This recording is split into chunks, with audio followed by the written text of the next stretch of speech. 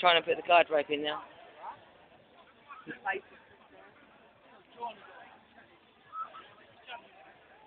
If I could hold it still, that is.